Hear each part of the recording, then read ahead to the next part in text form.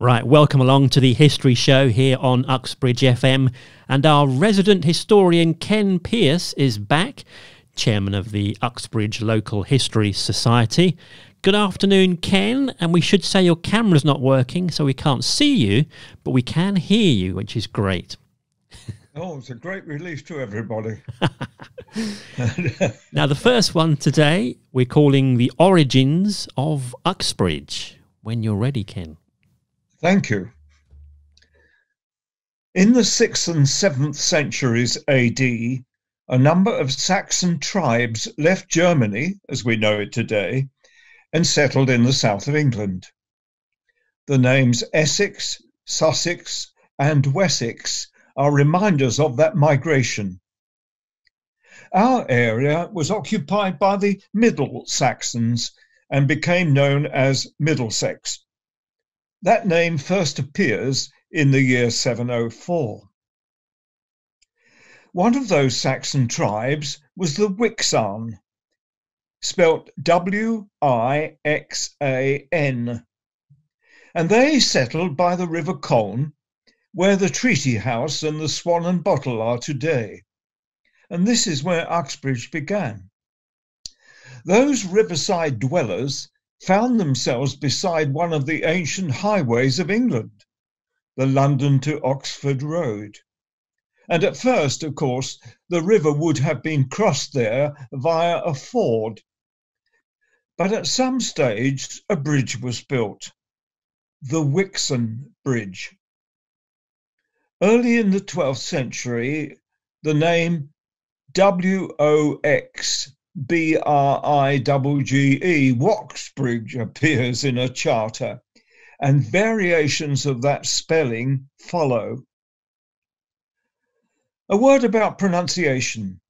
The letter W is a double U. So the place name was probably pronounced Uxbridge. The initial W survived in documents until the early 17th century, after which the single U became standard. The riverside hamlet became part of the manor of Colham, the lordship of which was held in the 12th century by the Bassett family. And at some stage during that period, Gilbert Bassett decided to create create a new Uxbridge on higher ground. We tend to think of new towns as a modern idea, for example, Milton Keynes or Poundbury, but it's been happening for centuries, and not least in the 12th century. Bassett settled on a stretch of the main road, uh, using today's names, from Harefield Road to Vine Street. Strips of land were pegged out on either side of that road, and those strips are usually referred to as burgage plots. In this way, a new town was prepared. But would anyone come and live there? The decisive move to obtain was to obtain permission to hold a market there. About the year 1180, King Henry II gave permission for a market to be held in the new town every Thursday. The document giving this permission survives today in the borough archives and is generally referred to as the Bassett Grant. Written on parchment, it is in remarkably good condition, being about 840 years old.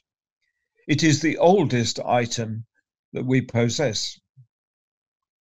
The market was indeed a success, the principal crop on sale being corn, and farmers from a wide area in Middlesex and South Bucks became regular visitors. The burgage plots gradually filled with houses, and the population grew.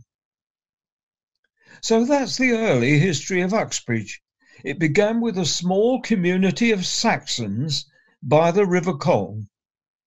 And the great change came in the 12th century when a new town arose where we found that we where we find the town centre today.